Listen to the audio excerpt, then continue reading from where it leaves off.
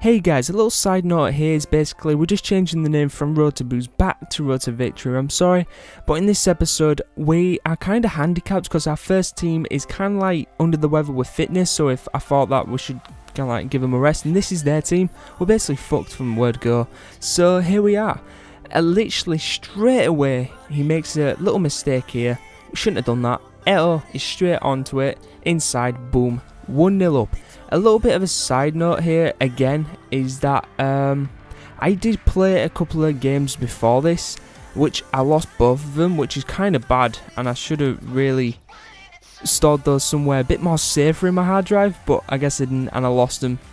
Uh, but I gotta admit, this guy's really unlucky in this match. It's like pull one back, then he scores an own goal with Shan Sanchez.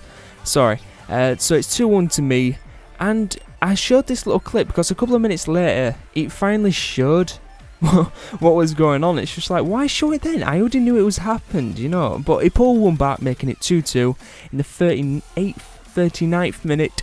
And here we are. Nice ball there, but Eto'o is straight on it again. What a player he has been for me lately. Absolutely magnificent winning that header to make it 3 2.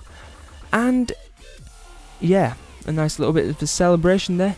A nice ball, unlucky there, but again, you know, this guy's just really, really unlucky. You know, it just he's got Puyol, Puyol, yeah, he scores an own goal with him, and again, EA, it's uh, just like what the hell, you know, keep up with what the game is actually throwing at us. Anyway, so basically, Eto'o's on the ball again. I tried a bit, a bit, be a bit cheeky here. I put a passed it back like an absolute idiot, but oh well, I got the penalty, so that's all good. And guess what?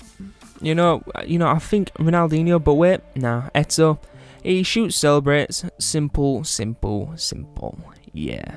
And again, if this, please leave the video a like for this through ball, cause this, if if it doesn't deserve a like, that it's just, I don't know what does.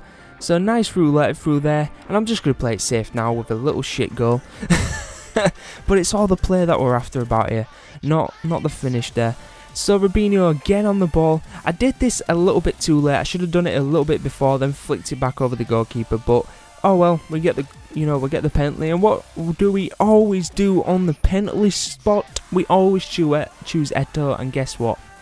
Shit, he saved it, which is absolute bullshit. But Eto's mad. He wants revenge, so he pulls it back. Little chip there just to totally piss him off and get 7-2 in the 81st minute.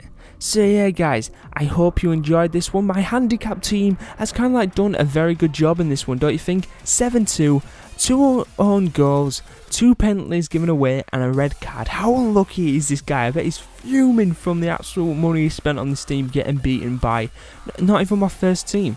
So yeah guys, I hope you enjoyed this one. Hopefully my handicap team or whether or not my fitness in my first team will be up for next scratch in the next video.